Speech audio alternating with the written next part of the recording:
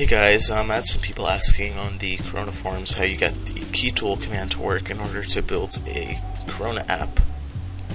So that's what I'm going to show you. Uh, if you don't have it the path set uh, properly, uh, if you type keytool and command prompt, nothing will happen. But if you see here, go to command prompt, you type keytool, you get all of this. So once you get this, you know it's working, obviously. So I'm going to show you how to get that. So first you go to Start menu, Computer, go up here at the top of the window, you see System Properties, you click on that. On the left panel, you click on Advanced System Settings.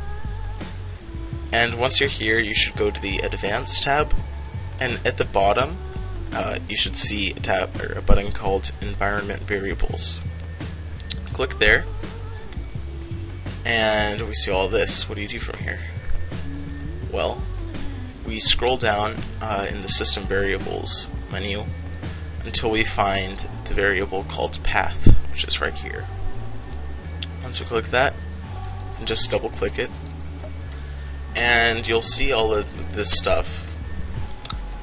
This does not really matter at this point. Um, basically, imagine that pretend that that isn't there and that this is where it ends. It's probably going to end differently for you, but this is where it ends for me. So you uh, just scroll all the way to the end, you put a semicolon, and then you paste this and I'll put it at the bottom of the video. But um, this is just the path to your um, JDK folder. So you go put a semicolon.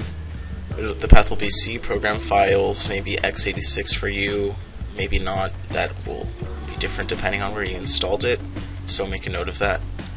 Uh, then Java, JDK, whatever the release number is, slash bin, that's where the keytool is in. So once you have that in there, just press OK, close this, run the command prompt. If you type in keytool, that should come up. And uh, I might make another video if you don't know what to do from there. Uh, if you want me to, I can.